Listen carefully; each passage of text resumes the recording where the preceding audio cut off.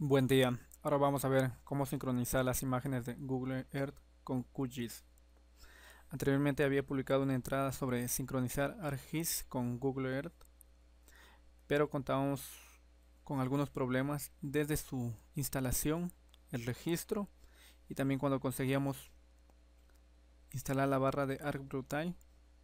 En el Zoom presentaba algunos cuadros, las imágenes en algunos casos no se cargaban las de Google Satellite Maps o simplemente las, de Bing. Teníamos unos problemas.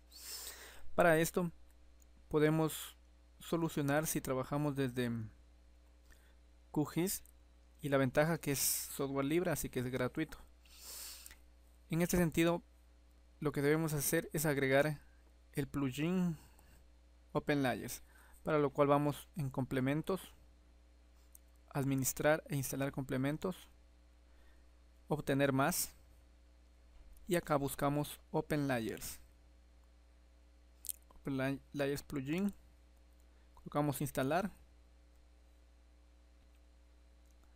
Tenemos el aviso que se ha instalado correctamente, aceptamos, cerramos el administrador de complementos y luego vamos en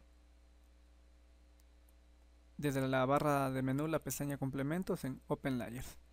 Aquí tenemos las imágenes de, Google, Google Earth, también de Bing, Bing Maps, de Yahoo, de OpenStreetMap, entre otros. Por ejemplo, voy a agregar las imágenes de satélite. Esto demora un poco. Podemos ver de esta forma hemos cargado nuestra imagen de satélite. Podemos cargar la de mapas. Street. Tenemos aquí mapas. Sería como Google Maps. Podemos cargar también de desde Bing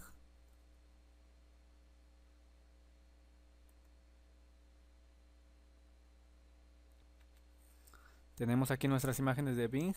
Podemos cargar desde Open Layers. Open, perdón, OpenStreetMap. Tenemos aquí.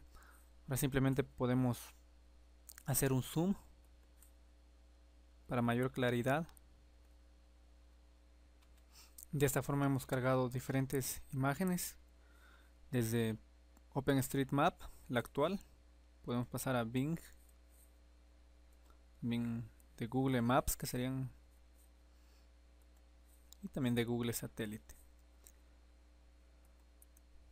Podemos hacer un zoom a la extensión de esta capa. Y una gran ventaja es que podemos exportar en nuestras imágenes. Por ejemplo me voy a quedar con la de la de Bing. Entonces yo puedo si tengo un proyecto y un nuevo diseñador de impresión. Test le voy a poner. Aceptar.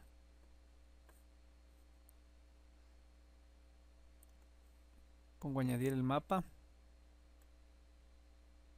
Y puedo exportarlo como pdf por ejemplo diseñador exportar como pdf así un nombre y guardo y me ha generado el archivo PDF. Bueno, acá puedo configurar para, la, para el diseño. Esto sería algo un poco más de mecánica nomás del mapa. Y tenemos nuestro archivo PDF. Bien, esto era cuanto quería indicarles sobre la utilidad de Open, Open Layers.